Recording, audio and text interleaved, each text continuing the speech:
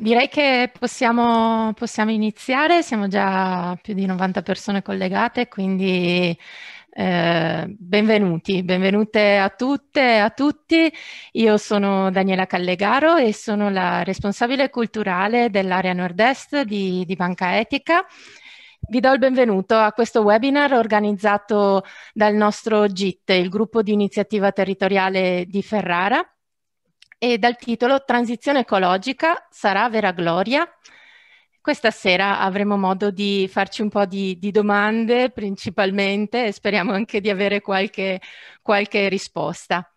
Iniziamo subito con qualche ringraziamento, in primis al, al, GIT, quindi al nostro gruppo di soci attivi sul territorio di, di Ferrara, per l'impegno che, che, ci mettono, per l'impegno profuso da sempre in questi anni nelle attività di diffusione della finanza etica nel territorio di, di Ferrara. Lascio quindi subito la parola ad Alberto Mambelli, che è il coordinatore del gruppo dei soci attivi, per un saluto iniziale. Vai Alberto. Grazie, buonasera a tutti e un ringraziamento, come già Daniela ha iniziato, particolarissimo agli oratori, perché noi l'abbiamo proposto ma qualcuno ha raccolto insieme e un saluto a tutti quelli che sono collegati via Zoom, visto che le attuali precauzioni sanitarie ci costringono a collegamenti a distanza. Avremmo più desiderato trovarci un po' vive, dal vivo. Ecco. Comunque, come detto, io sono il coordinatore di Ferrara, faccio con piacere e mi onoro di questo e porto soprattutto la voce dei soci. Un gruppo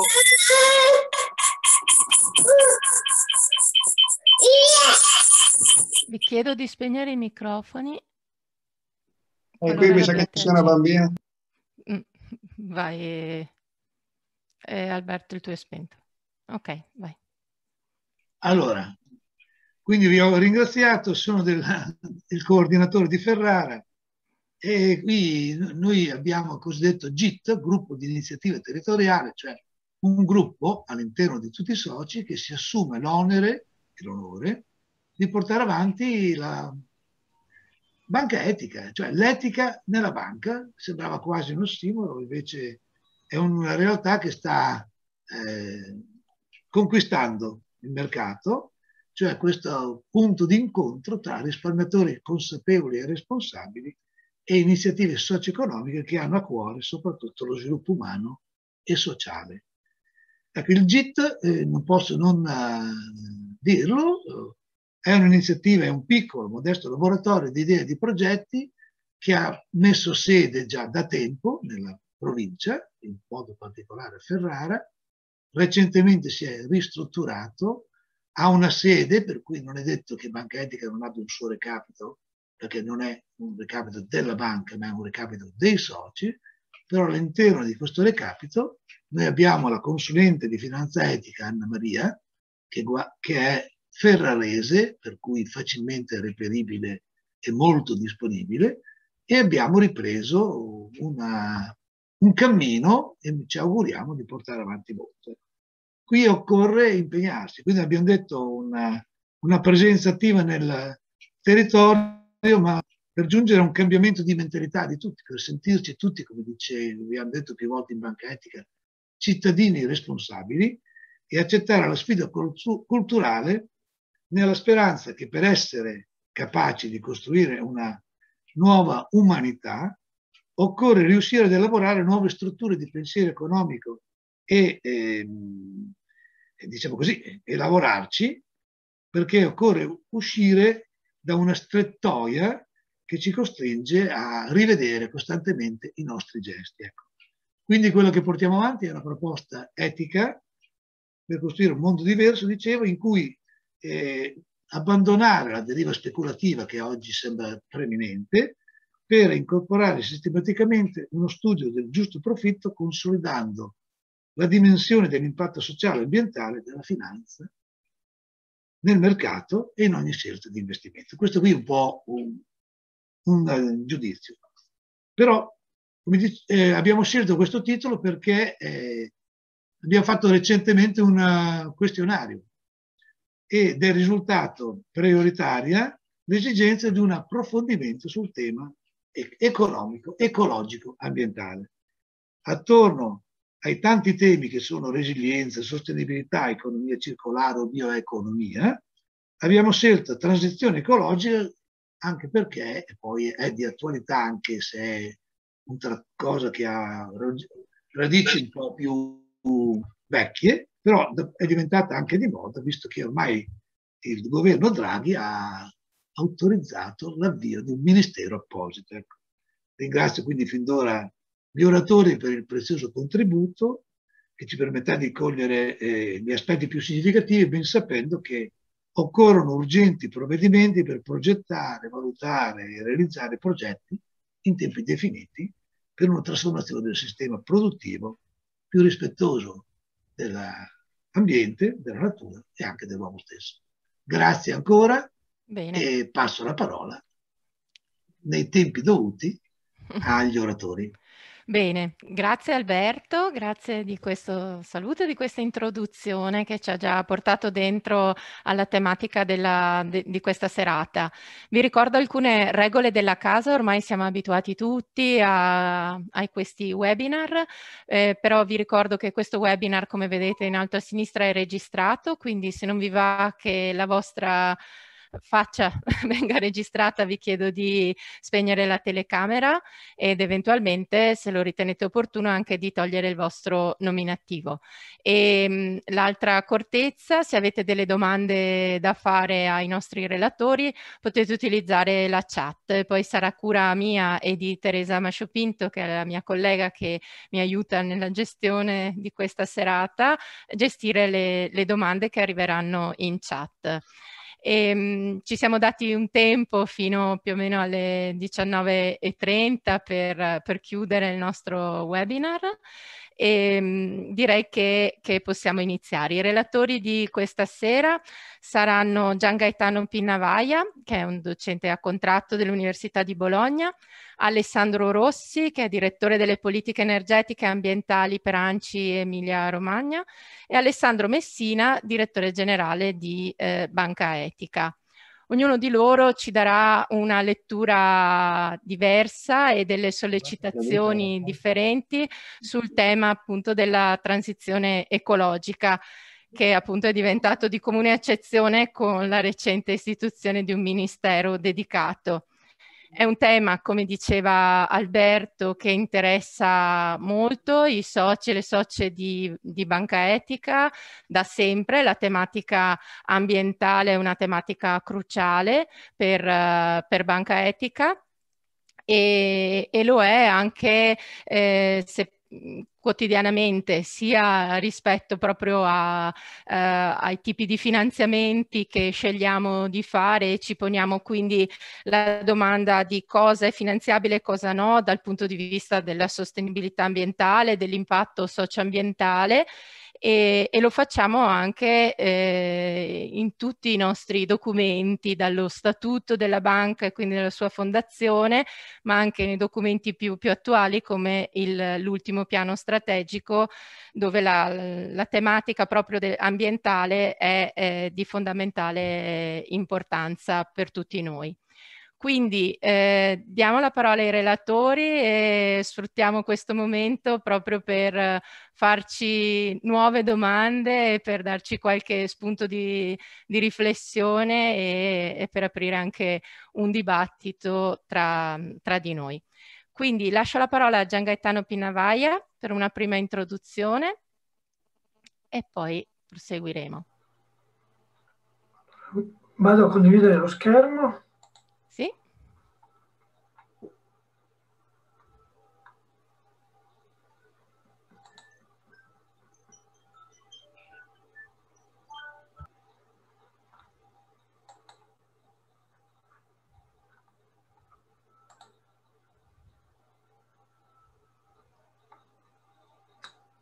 Si dovrebbe vedere dall'inizio, ma...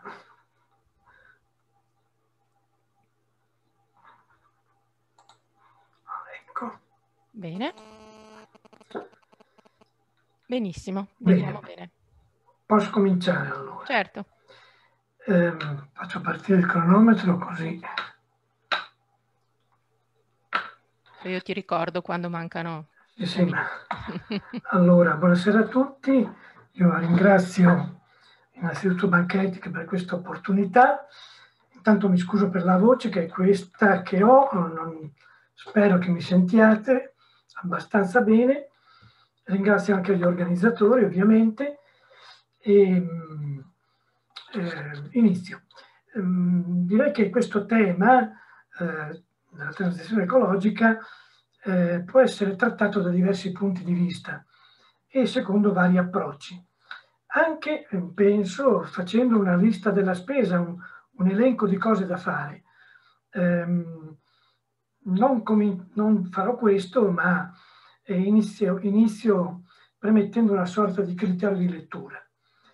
Um, per molti anni abbiamo sentito provenire dal mondo ambientalista questo slogan, pensare globalmente, agire localmente.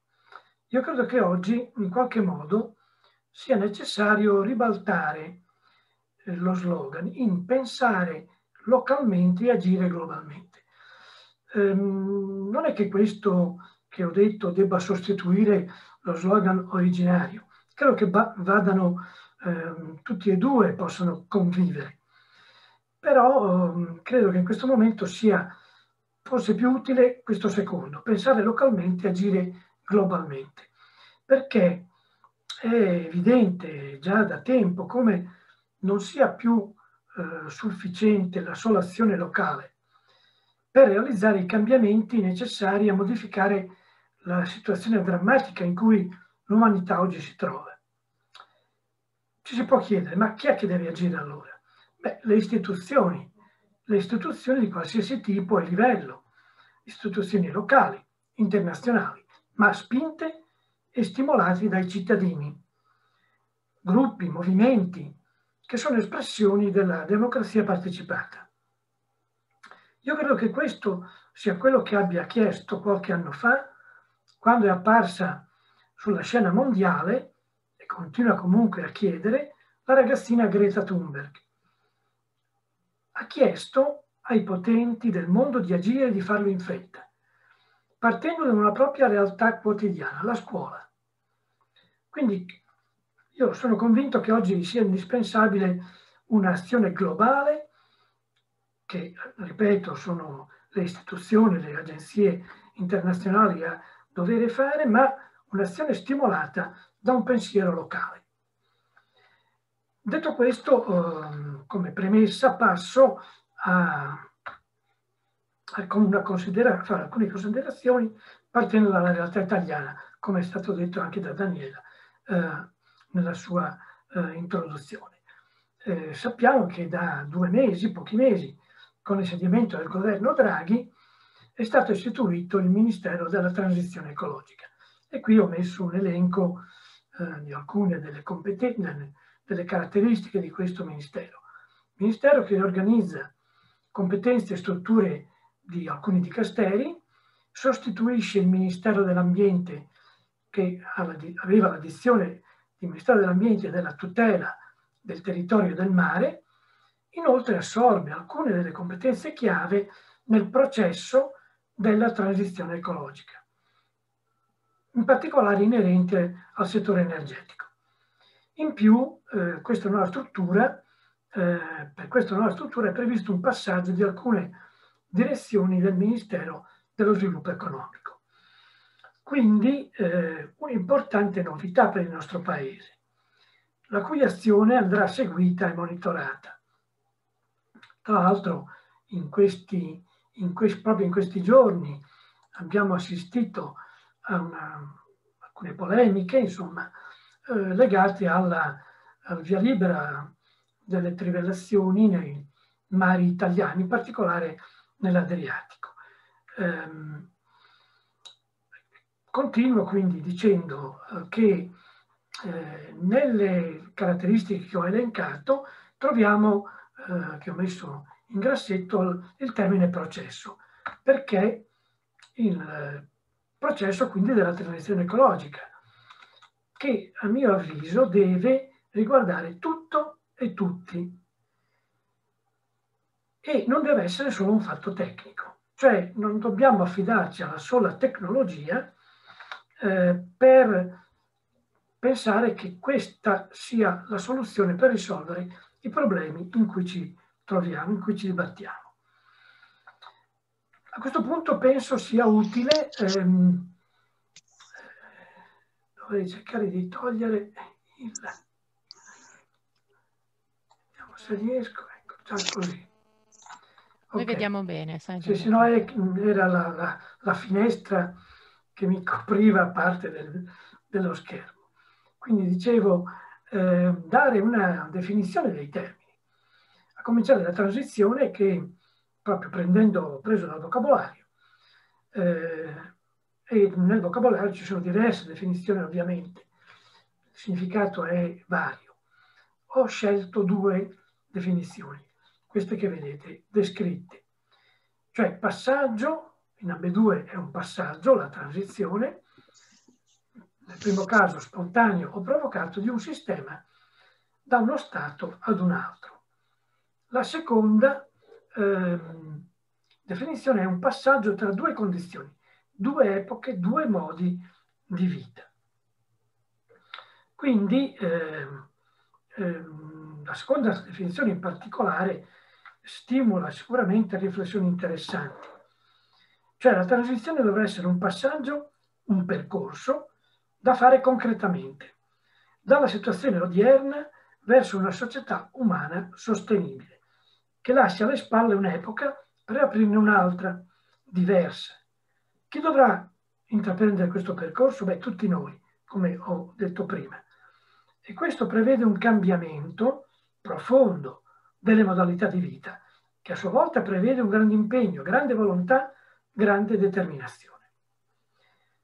L'altro termine di transizione ecologica è appunto ecologico, che richiama ecologia, ovviamente termine che sappiamo tutti in questi anni è stato usato spesso in modo improprio, spesso associato scorrettamente o in modo non consono a cose che non hanno nulla a che fare con il vero significato, che è quello scritto qui. Cioè l'ecologia è una disciplina scientifica, una branca della biologia che studia i rapporti tra organismi viventi e ambiente circostante. Ehm, ecco, nel prim nella prima mh, definizione, cioè la definizione di transizione, ho messo il sistema, ho messo il termine, cioè troviamo il termine sistema. Sistema che eh, qui prendo, faccio riferimento a un testo uscito eh, due mesi fa circa, quindi molto recente, che già dal titolo da, eh, fornisce diverse riflessioni. Eh, l'autore, Federico Butera, è un ex docente del Politecnico di Milano, docente di fisica tecnica ambientale. Eh, in questo testo eh, scrive Butera nell'introduzione eh, le finalità sono anche didattiche e questo sicuramente ne aumenta l'interesse in quanto l'autore è cosciente di quanto sia importante un cambio di mentalità. E anche questo è transizione ecologica. Ma di più, un mutamento culturale profondo, un, un, mo, un unico modo per assumere con consapevolezza i processi necessari al cambio di paradigma che siamo chiamati a realizzare. Poi, nella prefazione, eh, viene scritto che questo libro tratta forse il tema più interessante, più caratterizzante, scusate, della nostra epoca, cioè quella, quello delle interconnessioni.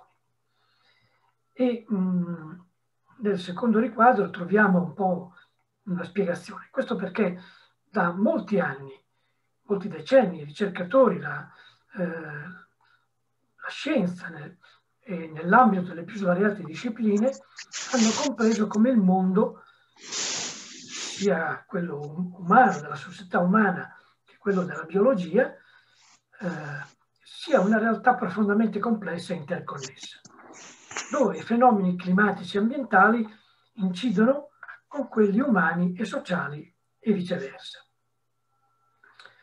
E quindi passiamo al, al terzo riquadro eh, dove eh, troviamo scritto che, eh, questo sempre nell'introduzione del libro, le modalità con cui produciamo e consumiamo, ci muoviamo e organizziamo gli spazi urbani e rurali, eh, produciamo il cibo, otteniamo l'energia e la distribuiamo, hanno un impatto spesso devastante sugli ecosistemi e di conseguenza sul nostro benessere, cioè sulla qualità della vita, ma anche ultimamente eh, anche eh, eh, direi sulla tragica situazione in cui ci ritroviamo. Um, la seconda considerazione è che non siamo abituati a ragionare in termini di interconnessioni complesse e ehm, continuiamo a pensare, ad agire come se i rapporti causa-effetto fossero lineari, mentre dovremmo ragionare in termini di sistema. E a questo punto passo alla successiva, dove eh, mostro come eh, la realtà possa essere rappresentata linearmente, ed è quello che vediamo qui, dove una serie di operazioni sono una di seguito all'altra. Questo che vedete è un esempio, naturalmente, eh, questa linearità, questa, diciamo, questa è una linea retta, ma potrebbe anche essere curva, quindi potrebbe, potrebbe anche eh, eh, tornare all'inizio, ma sempre è lineare. Invece una rappresentazione più realistica della realtà, passatemi il termine, è questa che vedete a destra, cioè una rappresentazione sistemica. E perché la rappresentazione sistemica mi permette di, evidenziare le interconnessioni. E questo lo si vede dall'esempio riportato, che è uno dei, dei, tanti esempi che si possono fare, dove troviamo dei nodi eh, che all'interconnessione dei flussi, flussi di materiali, di, eh, di servizi, con degli input, per esempio queste attività ausiliarie, che arrivano dall'esterno e così via. Ecco, a questo punto, eh, alla luce di quanto detto, ehm, riporto una possibile rappresentazione, l'attuale rappresentazione non corretta dello sviluppo sostenibile, in dove mh, le varie componenti, le principali componenti, che sono società, economia e ambiente, eh, sono, hanno un ugual peso e devono trovare uno spazio di sintesi in questo modo. In realtà possiamo fare questa considerazione. Dagli anni 50 del secolo scorso, con la cosiddetta grande accelerazione, eh, si è assistito senza dubbio mm, da un lato un miglioramento della qualità della vita molto rapido, perlomeno nei paesi industrializzati, ma a discapito dell'ambiente, cioè le componenti società ed economia hanno preso il sopravvento sull'ambiente. Nella parte eh, destra della slide invece ho riportato quella che può essere una rappresentazione corretta dello sviluppo sostenibile, dove le esigenze economiche sono vincolate dalle esigenze sociali e entrambe sono vincolate dalle esigenze ambientali che sono alla base di tutto. Quindi questo ci porta a fare questa considerazione, cioè a ripensare già lo si sta facendo da tempo in realtà, alla relazione uomo-ambiente. Cioè dobbiamo renderci conto che eh, gli esseri umani sono parte di un sistema vivente e uscire dall'equivoco, convinzione, spesso non interessato, disinteressato, scusate, interessato perché è falso, secondo cui lo sviluppo sostenibile è dato dall'equilibrio fra esigenze economiche sociali ed ambientali, che sono tutte sullo stesso piano.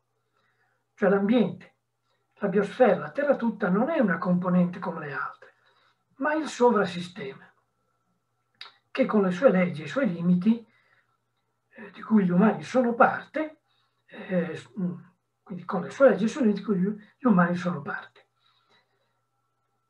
Questo quindi porta a dire che per troppo tempo si è pensato di essere qualcosa, cioè mm, l'essere umano ha pensato di essere qualcosa di esterno, addirittura di estraneo all'ambiente e alla terra.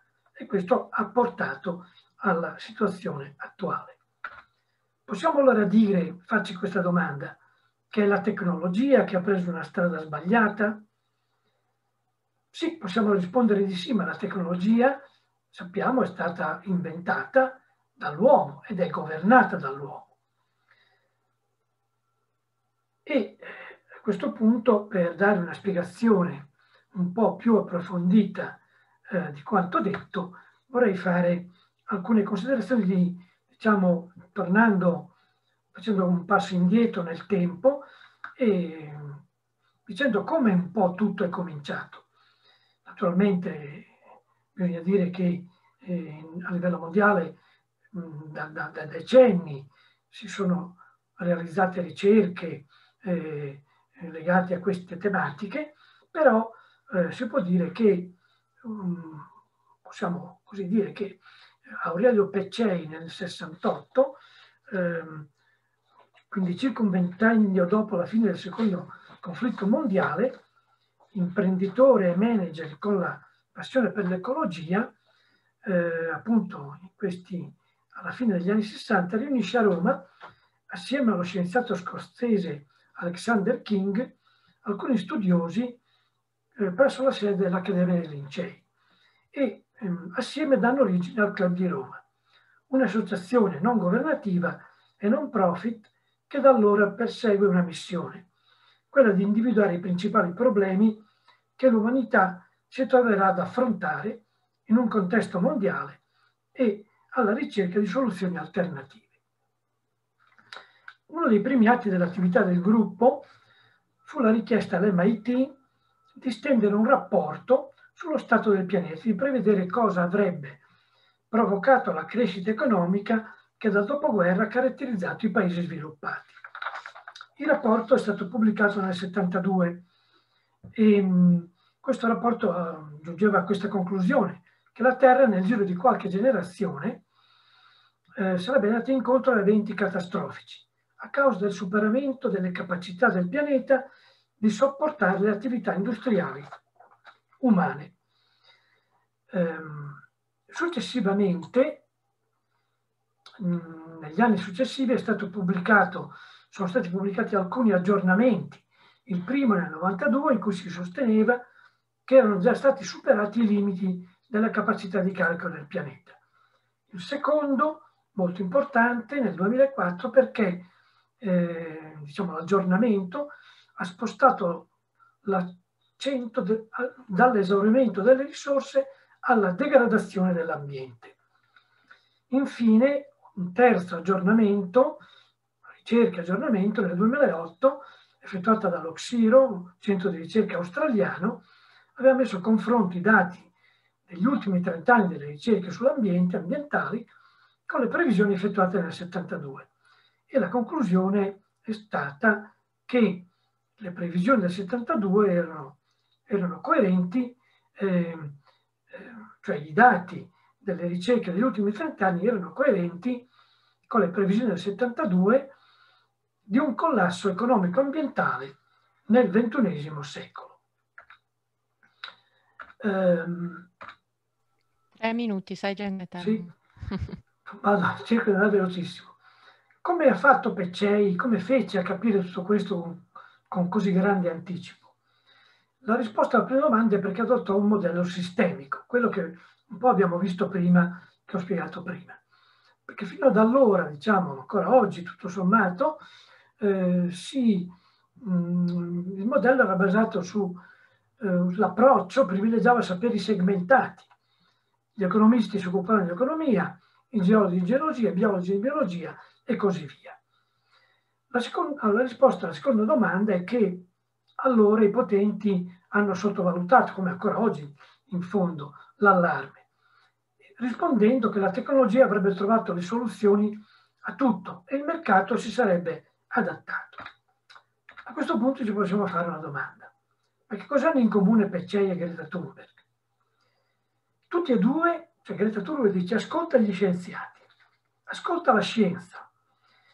E, e i ricercatori, e anche, questo lo diceva anche Peccei allora, ehm, ascolta la scienza, gli scienziati, i ricercatori che negli ultimi 50 anni, in particolare nei campi dell'ecologia, della climatologia e in tutte le discipline della, che studiano l'ambiente terrestre, la biosfera, hanno prodotto un'enorme massa di dati, utilizzando nel corso del tempo strumentazioni sempre più precise e sofisticate. Tutti questi studi fondamentali per la conoscenza della modificazione dell'ambiente da parte delle attività umane e che hanno anche lanciato appelli nel tempo al mondo della politica, dell'economia e della produzione, chiedendo di invertire la rotta che inevitabilmente sta portando al disastro. Per fortuna che la porta aperta alla Greta Thunberg è stata utilizzata da milioni di giovani che in tutto il mondo oggi, da qualche anno, scendono in strada per scuotere i potenti eh, di oggi.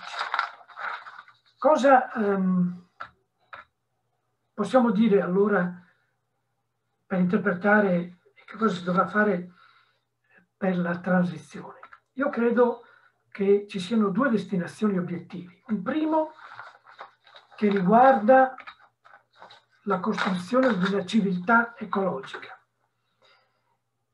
Una civiltà ecologica, cioè una società che dovrà essere l'opposto del modello economico di mercato oggi imperante, che deve continuamente crescere, che incoraggia l'iperconsumismo e non rispetta i limiti dell'ambiente terrestre e che è incompatibile con una civiltà veramente ecologica e sostenibile.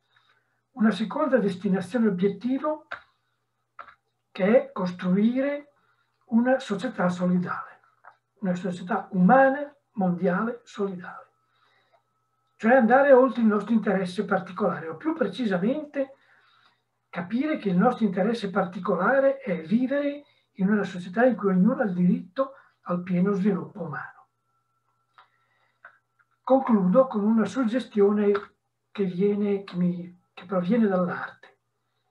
Qui vediamo una rappresentazione della primavera di Botticelli, che è icona della rinascita della natura al centro vi è Venere, che rappresenta l'amore, ma che è inserita in un contesto che è un inno alla rigenerazione della natura nell'amore. Di questa rigenerazione credo che, l'umanità abbia un estremo bisogno. Cioè rigenerazione che la natura da se stessa è in grado di attuare, in un tempo che però potrebbe non essere quello dell'uomo. L'umanità è dunque chiamata a contribuire, a collaborare con la natura nella necessaria opera di rigenerazione rinascita. Ma questo contributo va offerto da una umanità a sua volta rigenerata nell'amore, che credo sia unico strumento, passatemi il termine, per poter vivere in pace tra noi e la natura. E con questo ho concluso. Grazie, grazie Gian Gaetano. Eh, grazie anche per il tuo intervento che veramente ci ha, ci ha permesso di entrare nella, nella complessità de, della realtà, anche con tutte queste interconnessioni della visione sistemica che hanno posto proprio l'economia in stretta relazione con la società e con l'ambiente. E se penso a uno dei punti del manifesto della finanza etica, dove si parla proprio dell'attenzione alle conseguenze non economiche delle azioni economiche, mi ritrovo insomma in, anche in tutto quello che stavi dicendo. Grazie anche per il messaggio finale eh, di, della natura al centro e di un messaggio di, di amore e di, di, speranza che ci, ci sta. E adesso passo la parola ad Alessandro Rossi. E credo che Alessandro ci, ci, aiuterà a capire meglio dove, dove stiamo andando e anche a farci ulteriori domande. Nel frattempo stanno arrivando alcune sollecitazioni, alcune domande nella chat che vi invito ad utilizzare. Bene, vai Alessandro. Grazie, grazie a tutti, grazie a chi ha parlato prima, Gianga. Ehm, io, come dire, ripeterò un po' di alcuni concetti che ha espresso Gian Gaetano, lo faccio aiutandomi con, con un po' di, di, figurine e parto, visto che quest'anno è il cinquantesimo anniversario del, del primo uomo nello spazio, con un'immagine che è quella della nostra palla su cui viviamo, eh, che è l'unica palla che abbiamo a disposizione, anche se qualcuno crede che prima o poi troveremo altri pianeti dove trasferirci per, perché questa non è, più, non è, più, abitabile. Parto da questa immagine per, perché vorrei farvi concentrare su una, una, caratteristica che è molto facile da individuare. Ci sono dei limiti. E togliamo la palla e concentriamoci su, sui limiti e proviamo anche a dare un nome a questi limiti. E i nomi sono quelli che abbiamo imparato, uh, che abbiamo sentito molto in, questo, in, in questi anni, perdita di biodiversità, eh, l'ozono che ci ripara dai raggi ultravioletti che sta scomparendo, poi ritorna, poi scompare ancora, uso del suolo, climate change, ve li lascio leggere anche se sono in inglese, sono comprensibili. Ecco, eh, come si è messi rispetto a questi limiti? Eh, ovviamente qualcuno ha provato a fare i conti, nel 2009 eh, abbiamo, abbiamo, visto, eccolo qua, eh, nel 2009 questa era, era la situazione. E, ehm, rifacendo i conti qualche anno dopo abbiamo scoperto che in realtà eravamo messi un pochino peggio e c'era una cosa che si chiama cambiamento climatico che stava Forse, perché nessuno lo sa ancora con precisione, ma diciamo che la quasi totalità degli scienziati stanno dicendo che sta andando completamente fuori controllo. Vedete qui ci sono delle cosine simpatiche, oltre alla biodiversità, l'uso del suolo e il climate change, ci sono cose poco note e poco diffuse come il ciclo del, dell'azoto del fosforo che è completamente fuori controllo e teniamo presente che tutta la nostra agricoltura è basata su fertilizzanti eh, azotati e, e, e fosforici. Ma torniamo alla, alla palla. Noi, mh, mm, questo è un disegno di uno spazio all'interno del quale noi possiamo sviluppare eh, le nostre attività umane. E, ehm, probabilmente però bisogna aggiungere anche qualche elemento, per, elemento perché se noi volessimo fare, ehm, limitarci a questo disegno, beh, un modo per tenere in salvo il pianeta è molto semplice, basta sterminare il genere umano e il pianeta si rimette a posto. Probabilmente non è la soluzione migliore eh, e quindi è necessario considerare un altro limite, che è il limite dei diritti eh, singoli e collettivi. Il diritto al cibo, il diritto all'acqua, eh, il diritto all'educazione, li vedete tutti, tutti scritti qua. E quindi in questo modo eh, siamo riusciti a disegnare uno spazio che è lo spazio all'interno del quale in sicurezza possiamo eh, sviluppare le nostre attività. Eh, un modo per dirlo è un'economia durevole e rigenerativa. Durevole perché non andiamo in debito con le risorse del pianeta, rigenerativa perché comunque all'interno di questo spazio possiamo trovare modo di di far evolvere eh, le persone e, e, e il genere umano. Voi capite che un disegno di questo tipo, e con questo vi ho raccontato che cos'è l'economia della ciambella, e se, trovate, se cercate in internet troverete tante cose su questo, è un modo completamente diverso eh, dal disegnare, eh, dal definire la sostenibilità come per quel piccolo incrocio che c'è tra le tre sfere eh, economica, sociale e ambientale.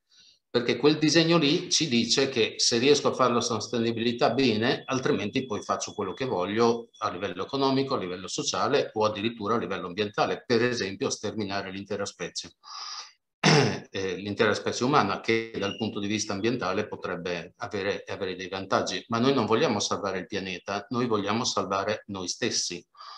Eh, il pianeta se la caverà comunque, eh, riuscirà comunque a trovare un suo equilibrio anche se la nostra eh, civiltà non avrà, non, non, non avrà futuro. Eh, e il rischio che stiamo, ehm, che stiamo patendo adesso nel, nel continuare a fare, nel continuare a operare come stiamo operando è proprio quello del crollo della nostra civiltà, perché il sistema non è più in grado, non è più in grado di reggere. Ma perché non riusciamo a ragionare in questi termini, quindi concettualmente a stare all'interno di questa corona circolare oppure se preferite di questa, di questa ciambella? Eh, qui eh, adesso io vi parlo di un signore che è un, uno psicologo israeliano che nel 2002 ha vinto il premio Nobel per l'economia e ci ha banalmente spiegato che il cervello dell'uomo è, eh, è, fatto in un modo strano, è, è molto abituato a eh, reagire velocemente di fronte a un problema con una soluzione, che io qui ho chiamato soluzione sintomatica, e invece è molto meno abituato a eh, trovare invece la soluzione sistemica. Gian Gaetano prima parlava di, eh, di sistemi, di sistemi complessi all'interno dei quali ragionare e proprio per quello noi cerchiamo sempre di ricondurre tutto alla semplicità e ehm, e per questo facciamo fatica poi a, a, a intervenire su un sistema complesso. Il, il, libro che vi racconta queste cose si chiama proprio Pensiero lento e pensiero veloce e sono due zone diverse del nostro cervello che intervengono per, ehm, eh, per prendere delle decisioni. Sono cose notissime, per esempio, chi distribuisce le merci all'interno dei supermercati eh, noi siamo fatti in un certo modo e agiamo, eh, agiamo di conseguenza e le due zone del cervello si sono evolute in maniera diversa. Pensiamo quando c'era la tigre con i denti a sciabola nella savana, se non correvamo in fretta appena la vedevamo, eh, eravamo spazzati. Per questo si è sviluppata molto la soluzione veloce, perché evolutivamente quel, il pensiero veloce è quello che ci salva dal pericolo immediato eh, siamo ancora indietro nella nostra evoluzione per eh, ragionare in modo sistemico. E vi faccio qualche esempio. Eh, ehm, anzi, prima analizziamo le due differenze tra le due soluzioni. La soluzione eh, veloce, il pensiero veloce, non modifica il sistema nel quale siamo e risolve immediatamente il problema. È misurabile e tendenzialmente nel mondo attuale è tecnologica. Noi quando vediamo un problema con la tecnologia pensiamo di risolvere tutto. La soluzione sistemica invece comporta un ritardo, un ritardo che è la riflessione, cercare di capire che cosa bisogna fare, e un ritardo anche nella soluzione del problema, perché intervenendo sul sistema ci vuole del tempo per modificarlo. Non solo, ma siccome non sappiamo bene cosa fare in un sistema complesso e difficile capire bene come, quali sono tutte le interazioni tra i vari elementi, potremmo anche sbagliare. E l'errore è un concetto che nel nostro eh, armamentario culturale è tremendo, mentre dobbiamo cominciare a, a ragionare di fare tentativi, che dobbiamo fare dei tentativi e poi riconoscere che eventualmente sono sbagliati e cambiare. Pensate nella politica, per esempio, un politico che fa uno sbaglio è un politico finito, eh, e magari quello stava cercando di trovare una soluzione, una soluzione adeguata. Alcuni esempi. Eh, economia circolare. Noi ancora una volta mi, mi, batto contro le rappresentazioni che tendenzialmente vengono date dell'economia circolare. Nell'economia circolare quando parliamo a tutti noi viene in mente il riciclo e la raccolta differenziata. Eh, io adesso vi faccio partire un filmatino che introduce un concetto eh, che sicuramente eh, come dire, mette in crisi questo, questo, assioma, economia circolare e raccolta differenziata. Eh, cosa è successo? Che cosa state vedendo voi? Scusami Daniela. Non schermo so. nero.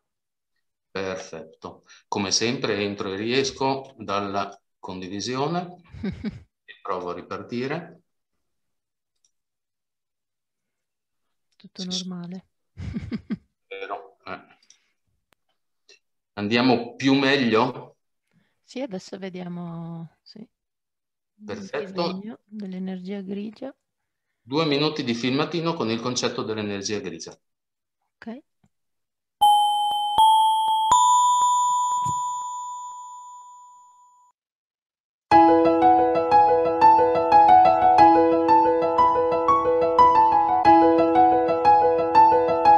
Questo è un bicchiere.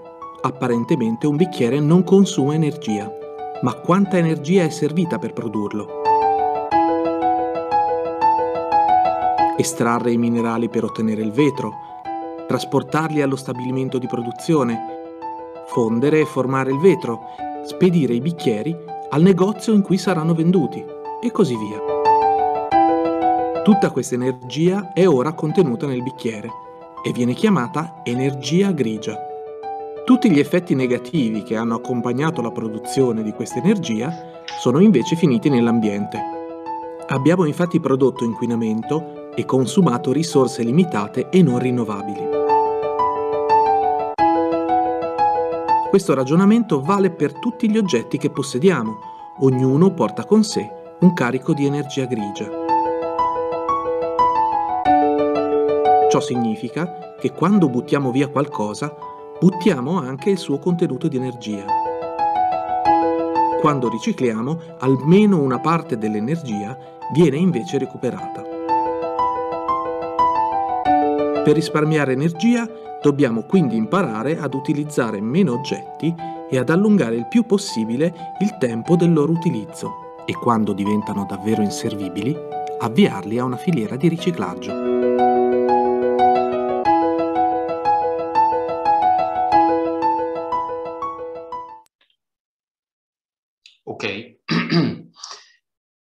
Allora, il concetto di energia grigia ci serve anche per analizzare eh, un pochino eh, i ragionamenti che stiamo facendo sul, sul, sul riciclo. Noi proviamo a eh, riciclare tutte queste frazioni, umido, verde, me, eh, metallo, vetro, carta e plastiche. se proviamo ad analizzare rispetto al modellino delle, dell'economia della ciambella, vediamo quale di queste è all'interno di quello spazio verde e quale invece comincia, comincia ad uscire.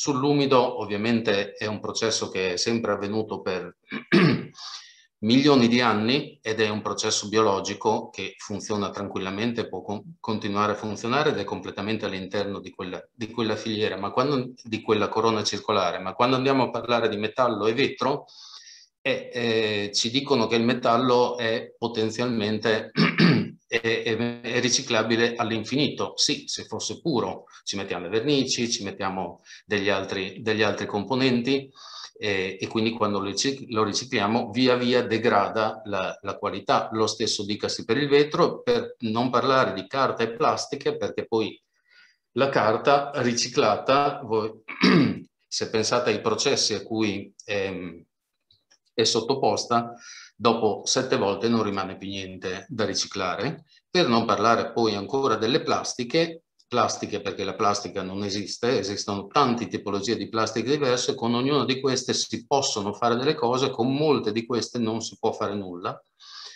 e con quelle poche con cui si può fare qualcosa, anche qui abbiamo, abbiamo dei, dei, problemi e più di tanto non, non possiamo riciclarle.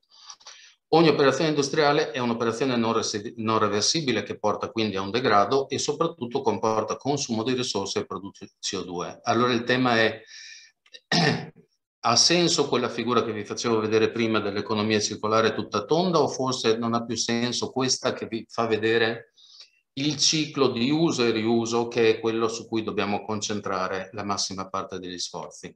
Tenete presente che queste cose non le dico io, ma queste figure è tratta dal rapporto, dall'ultimo rapporto della Corte dei Conti europea sull'economia circolare che mette in evidenza la necessità di investire, investire di più su questo, su questo ciclo. Tornando al nostro pensiero lento e pensiero veloce, per noi è molto facile e molto semplice eh, parlare di riciclo perché non modifica nulla di quello che stiamo facendo. È molto più complicato invece ragionare di eh, riduzione di monouso, perché noi il monouso lo stiamo utilizzando abbastanza. E poi eh, abbiamo di fronte dei panorami del genere. Di fronte a questi panorami la reazione immediata qual è? Abbiamo le plastiche eh, disperse nell'ambiente e ci inventiamo il plastic free. E col plastic free con questo motto cosa abbiamo, cosa abbiamo, cos'è successo in realtà nel sistema? In realtà nel sistema è successo questo, che abbiamo cambiato il materiale.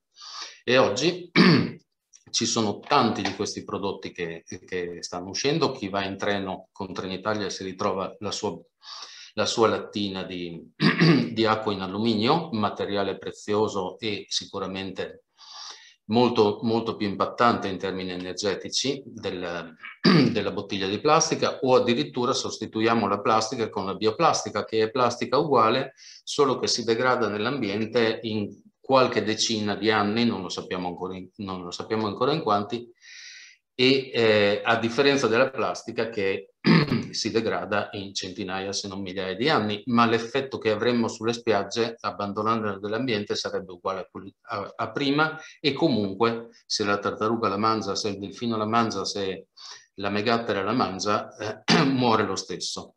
E, ehm, oppure per quanto riguarda il monouso, diciamo basta plastica, lo sostituiamo con la carta o addirittura con il legno, con la fibra di legno, come se gli alberi non fossero una, una risorsa preziosa. Oppure sostituiamo il monouso con eh, ancora materiali in bioplastiche, tanto è biodegradabile. Sì, è biodegradabile solo in impianti industriali che per almeno 90 giorni possono mantenere una temperatura attorno ai 60-70 gradi quindi ulteriori eh, interventi di energia. Vado avanti con gli esempi, ma tanto li conoscete tutti, le cialde, le, le cialde del caffè sono, sono, un problema, anche queste le sostituiamo con la bioplastica o altri, o altri elementi.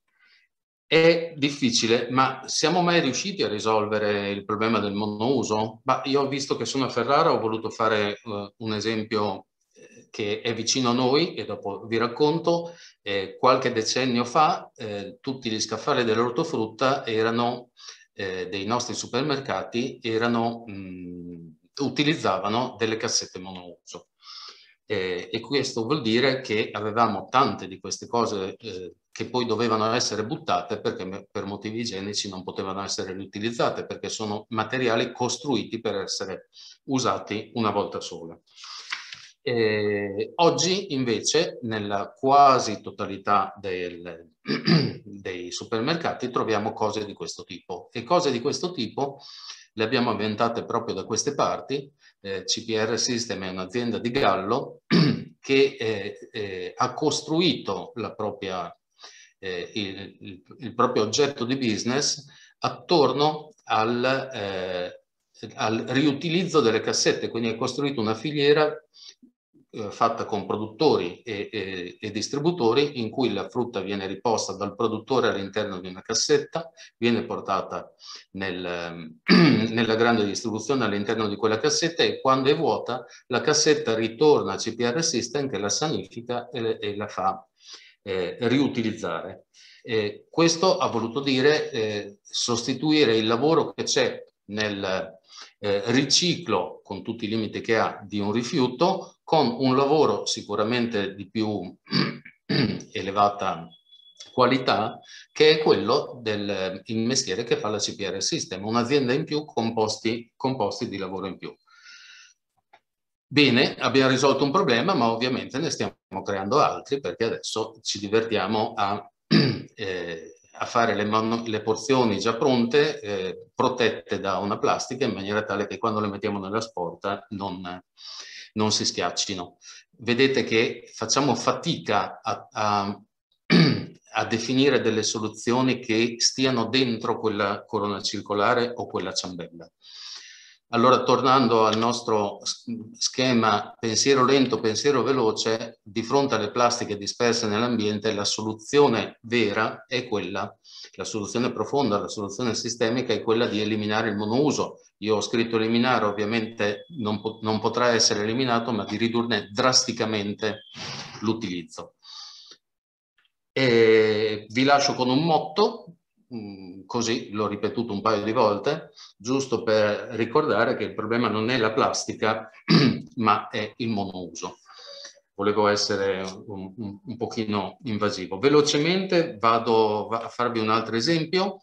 Quando parliamo di transizione energetica, noi vediamo che tutti i piani energetici, sia dell'Unione Europea che nazionali, che regionali, che addirittura dei comuni, che sono quelli che io seguo, sono concentrati su due interventi eh, strutturali. efficienza energetica e ehm, fonti rinnovabili. Ma è sufficiente? Mm, proviamo a ragionare sull'efficienza energetica e anche qui mi aiuto con un filmino per raccontarvi un certo signor Jevons che cosa ci dice.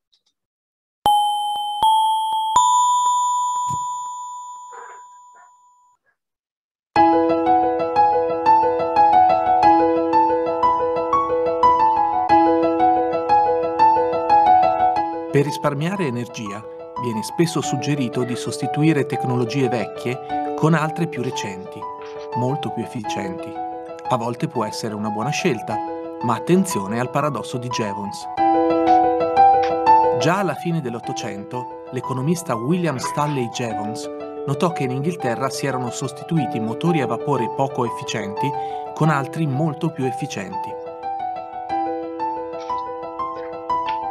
Questo faceva sì che venissero installati molti più motori e il consumo complessivo di carbone aumentava invece che diminuire.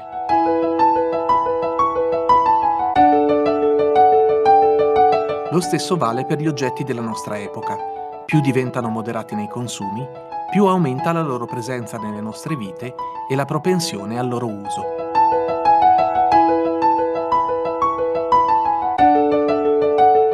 Un interessante studio della International Energy Agency mostra come dal 1990 al 2007 i consumi di energia degli elettrodomestici negli Stati Uniti siano calati drasticamente,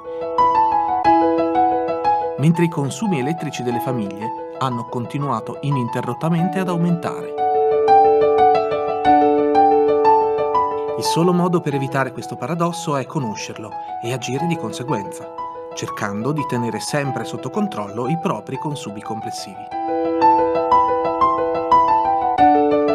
Alcuni consigli. Prima di sostituire un oggetto, chiediamoci sempre, ha davvero concluso il suo ciclo di vita? Posso riutilizzarlo in altro modo? O passarlo a qualcuno a cui serve? Prima di comprare un oggetto nuovo, chiediamoci, mi serve veramente? E cerchiamo di scegliere sempre oggetti che possano durare a lungo ed essere riparati. Conoscere i rischi del paradosso di Jevons è quindi importante per riuscire davvero a consumare meno energia, meno risorse e proteggere l'ambiente.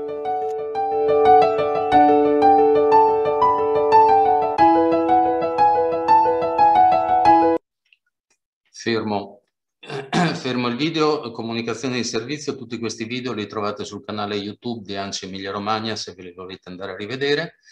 Quindi anche sull'efficienza energetica, eh, sul tema energia, un pensiero veloce è quello di pensare di, di eh, risolvere tutto eh, con l'efficienza energetica, ma tutto non si può risolvere. Dobbiamo certo fare efficienza energetica, ma dobbiamo anche avere un chiaro obiettivo per la riduzione dei consumi. Senza un obiettivo di questo tipo e alcuni piani energetici, per esempio eh, in Svizzera c'è l'obiettivo di ridurre i consumi per il flusso di energia per abitante a 2000 kWh all'anno, oggi siamo a 7-8 mila. Senza un obiettivo di questo tipo noi non riusciremo mai a stare dentro la ciambella. Sto finendo. Eh, vado avanti con un esempio molto rapido, eh, per esempio per la mobilità, noi pensiamo che l'auto elettrica risolva quando in realtà non potremo mai sostituire tutte le auto elettriche, eh, tutte le auto che abbiamo oggi con, eh, con auto elettriche. Dobbiamo ridurre il numero di auto e costruire dei sistemi di mobilità che sono diversi.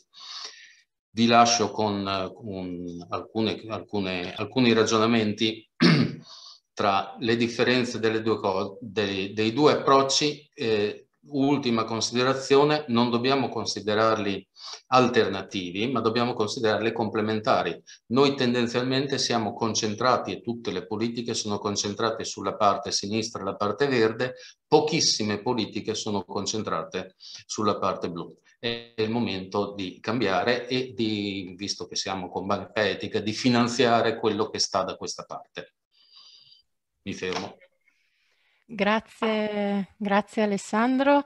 Eh, direi che Alessandro Messina, direttore generale di Banca Etica, ti ha dato il gancio, Alessandro, nella parte finale, quindi ti lascio direttamente la parola, così poi anche abbiamo qualche minuto per rispondere a un po' di domande che sono arrivate nella chat. Quindi... Sì, grazie intanto a, ai due relatori che direi che ci hanno fatto veramente un quadro molto efficace nella sintesi sia della complessità ma anche delle soluzioni che abbiamo, che abbiamo davanti. Eh, raccolgo l'assist rispetto al ruolo di banca etica che ovviamente eh, è, è, ben, è ben eh, consapevole delle sfide che abbiamo davanti come comunità, come collettività.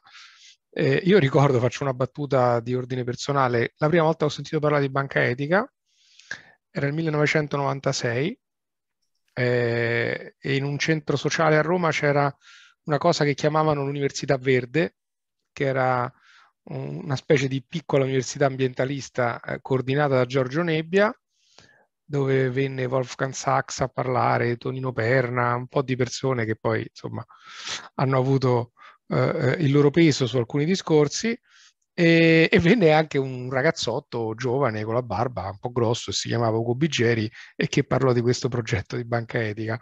Quindi per me eh, eh, personalmente, oltre che per il ruolo che ho, c'è un'intima connessione tra tutto il tema della, eh, del modello di sviluppo e quindi della crisi ambientale che stiamo attraversando e la finanza etica, che è un tema forte per tutti coloro che si avvicinano a banca etica anche perché eh, eh, mi sembra che oggi è emerso chiaramente, questa sera è emerso chiaramente una parola che entrambi i relatori hanno usato spesso. Eh, hanno parlato di problemi, di questioni sistemiche.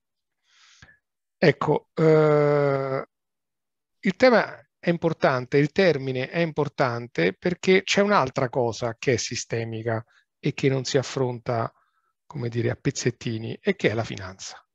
E c'è una profonda connessione tra i temi singoli che poi di volta in volta ci troviamo ad affrontare quando parliamo di crisi ambientale, ma anche di crisi sociale, di diseguaglianze, di futuro rubato alle, eh, alle generazioni che verranno e ruolo della finanza.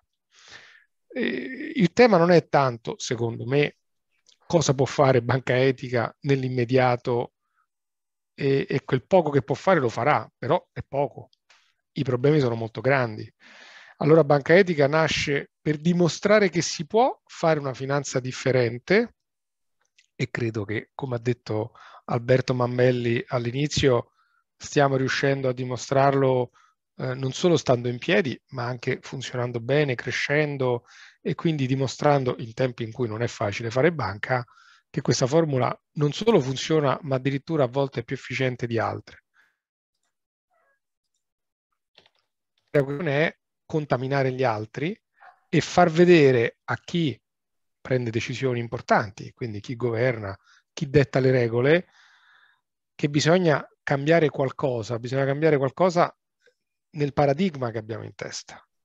E qui vengo a un tema molto più vicino al, a quello di cui parliamo oggi. No? Siamo dentro una bolla, per chi se ne è accorto, per chi lo guarda, eh, mediatica, eh, di comunicazione, di propaganda, che riguarda la finanza sostenibile, dove si associano eh, due parole importanti. Una è la finanza e l'altra è una parola che ormai è diventata un po' abusata. Hm?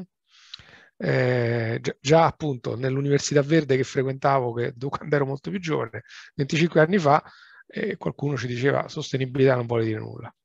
Ecco, ehm, la finanza sostenibile oggi è una grande tendenza di mercato, l'Unione Europea ha fatto i suoi regolamenti, eh, tutte le grandi banche si stanno impegnando per la finanza sostenibile, tutte si dichiarano finanza sostenibile. Però poco tempo fa, proprio poche settimane fa, una coalizione di ONG ci ha detto che eh, sono pari a 3,8 trilioni di dollari 3,8 trilioni di dollari i finanziamenti fatti dal sistema bancario mondiale alle fonti fossili. Attenzione, dentro questo ci sono eh, Intesa San Paolo con 13 miliardi, Unicredit con eh, 31 miliardi, tutte banche che se andate sul loro sito si definiscono sostenibili. Quindi c'è un problema anche di linguaggio, che probabilmente è un problema, eh, eh come dire, che parte eh, con una riduzione del problema, cioè non, è, non c'è un approccio sistemico, si guardano i palliativi, li guarda per primo il legislatore che fa una regolamentazione come quella sulla finanza sostenibile, che chiama sostenibile una finanza di prodotto senza preoccuparsi dei suoi impatti altrove, senza preoccuparsi dei problemi della finanza come finanza. Perché se noi abbiamo una situazione in cui continuiamo a rubare risorse agli altri, perché le diseguaglianze nascono così, quando qualcuno si approfitta degli altri, nello spazio o nel tempo. Io sottraggo risorse nello spazio all'interno di un paese, quindi aumenta la polarizzazione dei redditi e delle ricchezze all'interno dei paesi, succede in Italia come negli Stati Uniti, come in tutta Europa e come a livello mondo. Allo stesso tempo lo faccio rubando alle, nuove, alle, alle future generazioni, anticipandomi mi prendo dei soldi che non sono miei dal futuro, come me le prendo bruciando risorse naturali. Questo lo fa la finanza che è sempre più incontrollata. Guardiamo che la finanza oggi è tornata ai livelli del 2007, quando, ricorderete, scoppiò la grande crisi finanziaria. Oggi siamo dentro un'altra crisi, che è quella pandemica, e la finanza servirà per uscirne, ma se è una finanza fuori controllo, il rischio è che noi aggiungeremo una crisi a un'altra crisi.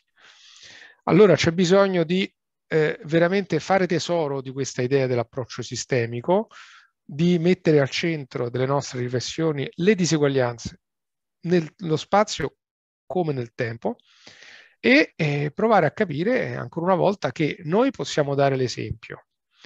Dimostrare che il denaro può essere usato per produrre un impatto positivo ambientale, per non produrlo negativo, ma soprattutto che la finanza può diventare un grande volano per il cambiamento del modello di economia, di società, di relazioni anche tra paesi eh, che oggi continuiamo a guardare come fossero un Moloch, mentre c'è bisogno di una prospettiva non eh, effimera di cambiamento e direi che questa metafora si lega bene pure a quella dell'economia circolare un po', un po' di facciata e che magari trascura il monouso. Ecco, forse abbiamo bisogno anche nella finanza di farla girare meno velocemente e recuperarne la sua funzione principale. Io mi fermerei qua per il momento. Bene, grazie Alessandro.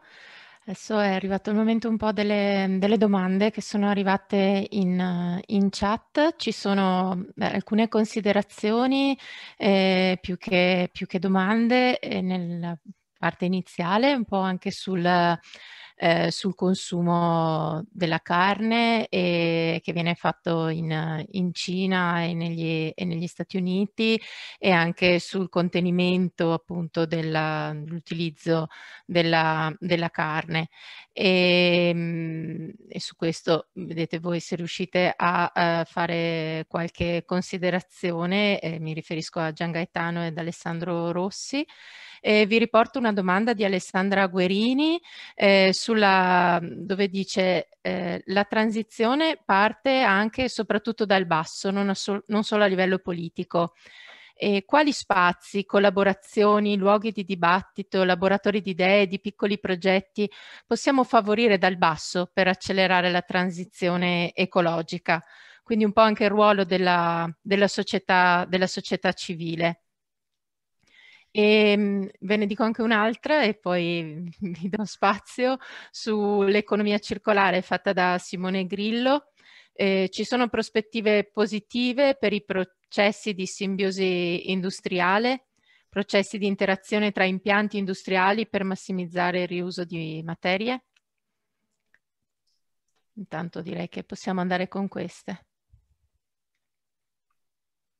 A partire Mi... tu Alessandro Rossi, sì? Vai. Sì, ti chiedo scusa, mi sono dimenticata la penultima che hai detto, eh, Alessandra. Ah, ok. Alessandra, è un po' sul sì, ruolo sì. della società civile, dal basso, cosa si può fare per accelerare la transizione ecologica. Cambiare un sistema complesso, l'ha detto prima eh, Alessandro Messina, eh, è operazione appunto complessa.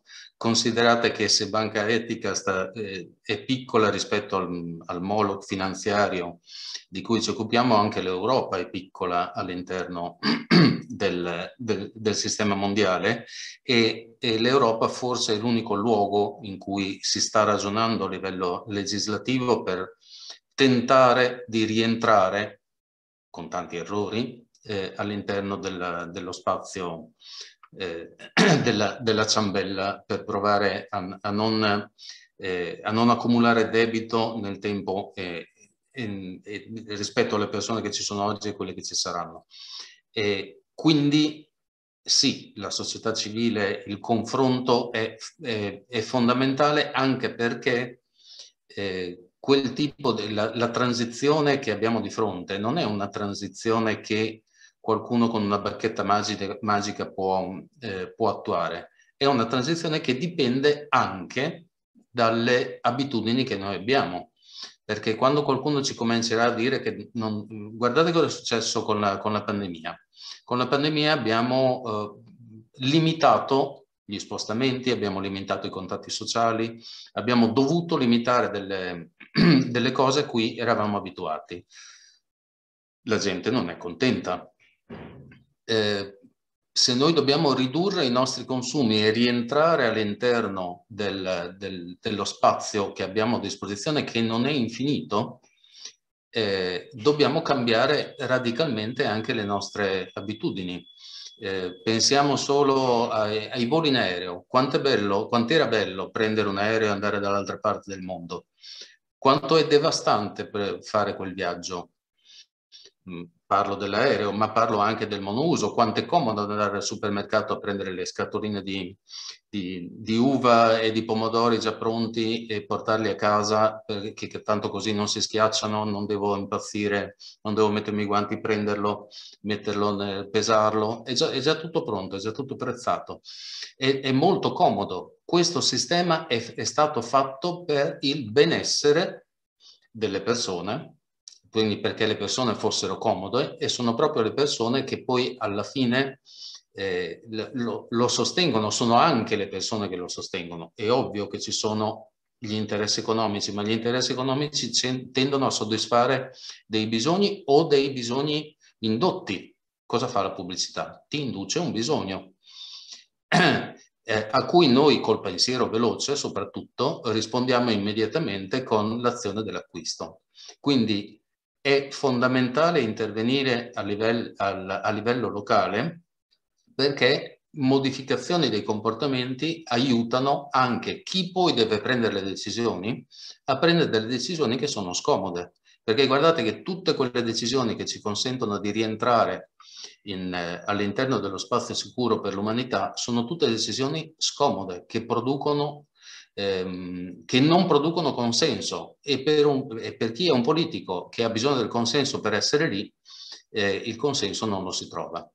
Qui, se volete, un'altra volta parliamo anche di eh, come ibridare i nostri sistemi democratici per, eh, per consentire al, um, eh, al, sistema di prendere delle decisioni che non riesce a prendere in questa, in, in, con, con, eh, con, il sistema di consenso che, che abbiamo in piedi. La democrazia rappresentativa non ci potrà mai consentire di prendere delle, delle decisioni che vanno contro la comodità di ognuno di noi. Se qualcuno di noi ci dice che bisogna avere una macchina e famiglia, eh, siamo contenti?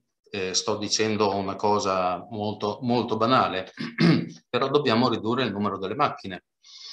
Eh, ci sono mille strumenti, ma eh, alla fine, eh, alla fine bisogna, bisogna porre dei limiti. Il pianeta dei limiti non vengono riconosciuti dal sistema attuale, tant'è vero che il sistema attuale parla di crescita economica infinita, però vi do una, una, una goccia di speranza, eh, giusto qualche settimana fa, eh, l'Agenzia Europea per l'Ambiente, prima istituzione eh, governativa al mondo, ha toccato il tabù della crescita economica ed è uscito con un report molto interessante se qualcuno lo può leggere, è in inglese ma tanto Google traduce tutto, eh, che si chiama Crescita senza crescita economica, dove la crescita è dell'uomo e dell'umanità e la crescita economica invece è un sistema artificiale che abbiamo costruito noi.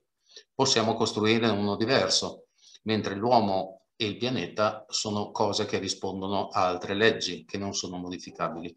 Vi mando il link del, dello studio del rapporto dell'Agenzia Europea per l'Ambiente, molto interessante perché tra l'altro cita anche l'economia della ciambella con cui abbiamo giocato fino, fino a poco fa, dicendo che è uno del, dei, degli spunti che possono consentire di eh, disegnare un sistema economico diverso e non pensare solo alla crescita, perché oggi la crescita, chiudo subito, oggi la crescita è l'unico strumento in mano a, a, ai nostri amministratori per distribuire benessere. Se non c'è crescita non si distribuisce benessere, eh, no, non c'è modo di dare, di, di, di aumentare eh, il, il, livello di benessere delle persone e, e quindi va tutto in crisi.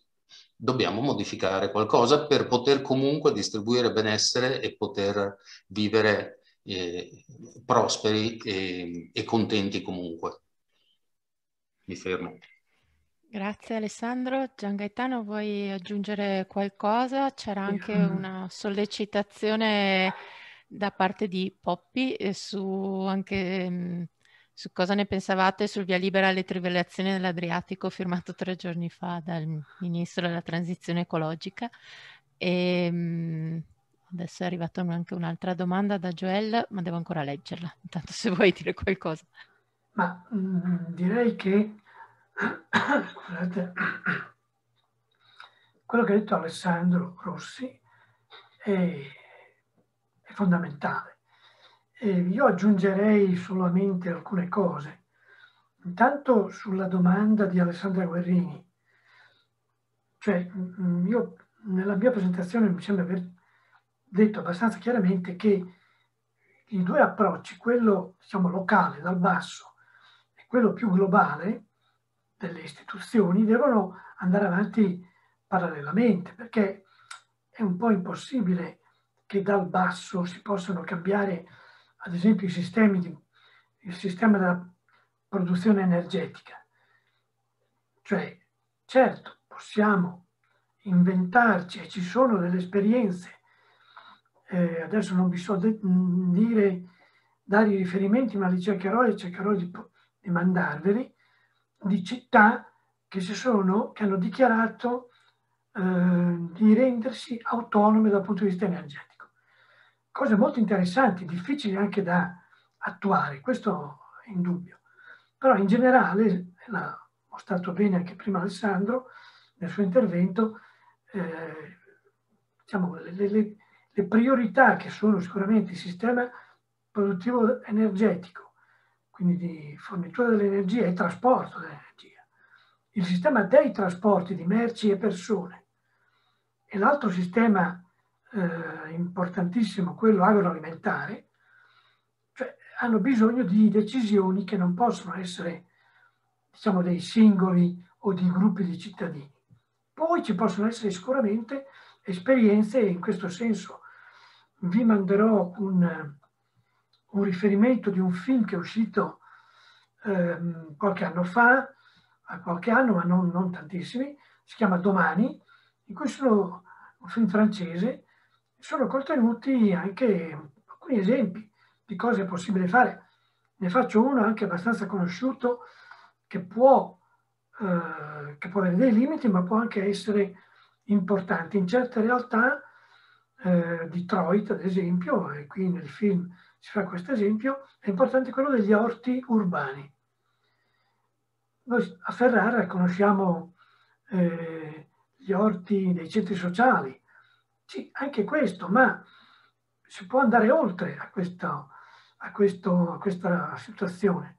Cioè in tutte le situazioni possibili e possibili si possono realizzare degli orti per l'autoconsumo o per un consumo eh, condiviso. Sono piccoli esempi ovviamente. Ehm, l'altra cosa che volevo, mi sembrava ci fosse una domanda sulla carne, carne sì, sintetica, eccetera. Io sì. ho lavorato 30 anni, più di 30 anni come ricercatore eh, nel campo delle tecnologie alimentari, quindi insomma qualcosa so. Così questa cosa della carne sintetica è, diciamo, si è presentata eh, recentemente. Um, io sono convinto personalmente da una serie di esperienze fatte e cose lette che um, inevitabilmente l'umanità dovrà andare verso un consumo minimale di prodotti di origine animale. Questo è se vuole salvarsi, come si diceva prima. È una delle componenti ovviamente del problema ambientale di oggi, però è un componente importante, perché a cascata ne eh, considera tanti altri. Quello della carne sintetica sì, potrebbe essere una soluzione, ma mi chiedo, è proprio necessario mangiare la carne? Questo io faccio io la domanda, ma questo penso che tutti dobbiamo rispondere a questa cosa, perché ci sono le alternative ovviamente. Non è che sia semplice cambiare, come diceva Alessandro poco fa, le abitudini delle persone. Nessuno può obbligarci a cambiare probabilmente saremo obbligati dalla situazione, ma accetteremo questo? Ecco, concludo con, anch'io con delle domande. Bene, grazie Gian Gaetano. Alessandro Messina, credo ci, ci, c'è una domanda per noi, per la banca, e dove si dice il sistema di finanziamento alle auto che è sempre più in voga non è un incentivo a incrementare le auto, cosa può fare la finanza etica? E, ehm, prima di farti rispondere, dico io una cosa, eh, c'era prima un, quando aprite a Ferrara uno sportello di banca etica, a Ferrara siamo già presenti con la nostra consulente di finanza etica, eh, che è anche qui presente, Anna Maria Bernini, e, ehm, e, più abbiamo la filiale a Bologna e quindi come punto di riferimento eh, c'è la filiale di, di Bologna e Anna Maria che risponde a a tutte le vostre richieste e quindi sul sito della banca trovate i suoi riferimenti. Vai Alessandro. Sì, poi non, nulla toglie che se le condizioni lo consentiranno e se continueremo a crescere come stiamo continuando a crescere, possano arrivare anche ulteriori evoluzioni su, sul territorio di Ferrara come su altri territori, però la nostra eh, la nostra politica è, è, sempre quella della sobrietà, della, dire, dell'investimento molto misurato.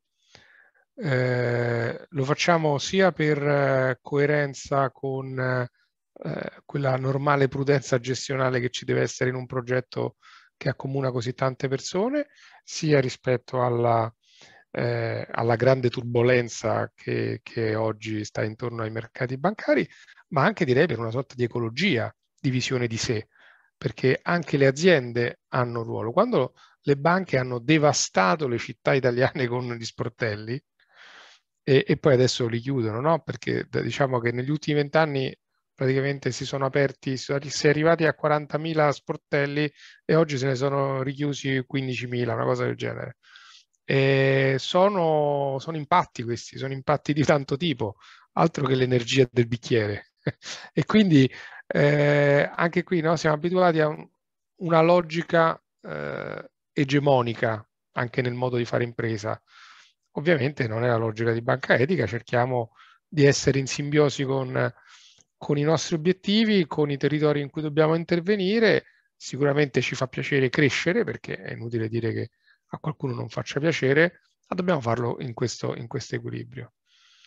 Il tema sul finanziamento alle auto è, è uno dei temi, come dire, che hanno tante implicazioni. Noi fin dalla nostra nascita combattiamo con queste questioni controverse dell'uso del denaro, eh, ma come tante cose eh, dipende, perché comprarsi un'auto può essere un gesto voluttuario, consumistico, può essere un gesto che produce sviluppo, eh, perché magari c'è chi non ce l'ha eh, o, o, c'è chi ne ha un bisogno reale, eh, c'è chi la usa con molta parsimonia e anche qua bisogna valutare. È evidente che sarebbe meglio andare tutti in bicicletta, però sappiamo pure che in questo dobbiamo essere consapevoli della, come del nostro essere di servizio. Fare banca significa questo. Per cui, eh, e non possiamo neanche fare l'inquisizione del consumatore, del risparmiatore. Per cui, come dire, facciamo educazione, facciamo formazione, magari facciamo qualche domanda in più che altri non fanno su cosa devi fare con il denaro che ti prestiamo, eh, se hai valutato questa e quest'altra alternativa, e dopodiché eh, esiste la responsabilità individuale delle scelte che si fanno. Insomma. Bene, grazie Alessandro. Io direi che mm, possiamo anche andare in chiusura. Ci sono alcuni messaggi che credo sia eh, che potete anche leggere, c'è il messaggio di Lisa, c'è il messaggio di Joel, che sono delle riflessioni che sono nate un po' appunto da, dal webinar di questa sera. E, ehm, Grazie, grazie a tutti per la partecipazione. Alberto vuole fare un saluto. Devi riattivare l'audio. Sì, grazie a tutti, un saluto doveroso, ma anche rimane aperto un grande interrogativo. Ecco, eh, Alessandro Rossi ha parlato di una soluzione sistemica lenti, no? pensarci bene, ma abbiamo il tempo di pensarci bene? Non siamo invece stimolati a trovare soluzioni in tempi molto, molto contenuti? Chi pagherà i costi? Ci sono le tecnologie, io penso che sia uh, materiale per poter riflettere ancora su queste tematiche e eventualmente di ritrovarci e andare avanti. Ecco, qui abbiamo aperto purtroppo abbiamo una visuale sul, sul baratro, ecco. Ma cerchiamo di rimanere a guardare un futuro migliore, ecco, non angosciati da...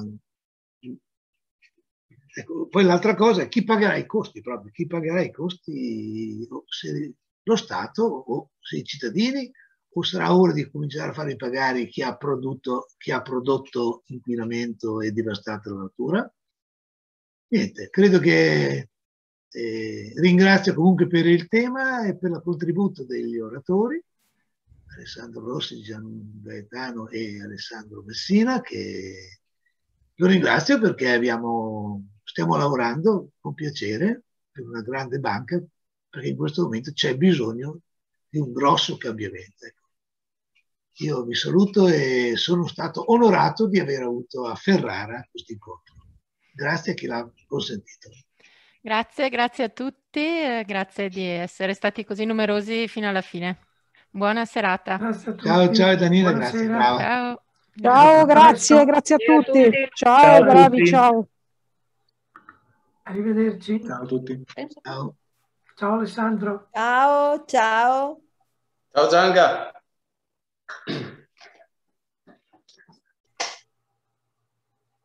Ciao Daniela, grazie.